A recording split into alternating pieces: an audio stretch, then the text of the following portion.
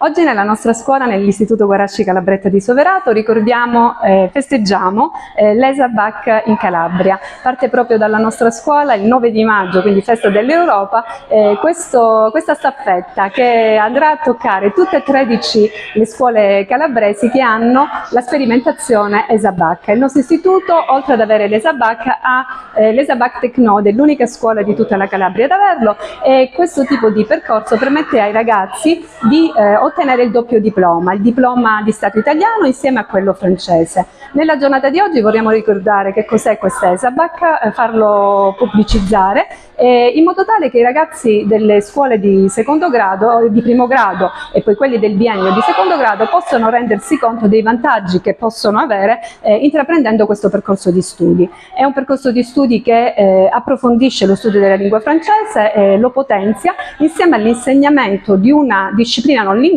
direttamente in, in lingua eh, fatta da una docente madrelingua che affianca la docente eh, di letteratura italiana. Quindi un percorso completo eh, che dà tanti vantaggi eh, ai ragazzi che decidono di, eh, di intraprenderlo. Eh, questa giornata è stata voluta dall'USR Calabria ehm, e della dottoressa Crescente eh, si, mm, si, è occupata dell'organizzazione insieme alla ehm, Attaché de Coopération pour le Français, Leila Shaib, che ha sede, alla sua sede nell'Istituto francese di eh, Palermo.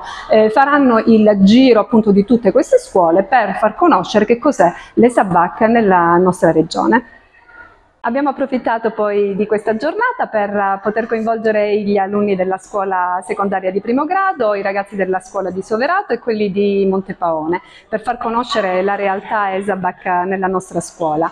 E, e per, uh, inoltre abbiamo uh, invitato eh, gli alunni del 2020-21 che si sono appunto diplomati in quell'anno per la consegna dei diplomi. Quindi in questa giornata um, approfittiamo per far conoscere la lingua e la cultura francese francese per promuovere eh, questo percorso. Un'altra iniziativa interessante è che in questa eh, giornata eh, presentiamo anche il, i lavori realizzati dagli alunni del nostro istituto nell'ambito del progetto Erasmus Articap eh, che ha mm, coinvolto gli ragazzi del quarto e della quinta classe eh, che partiranno domani in, in Francia per completare appunto il progetto Articap.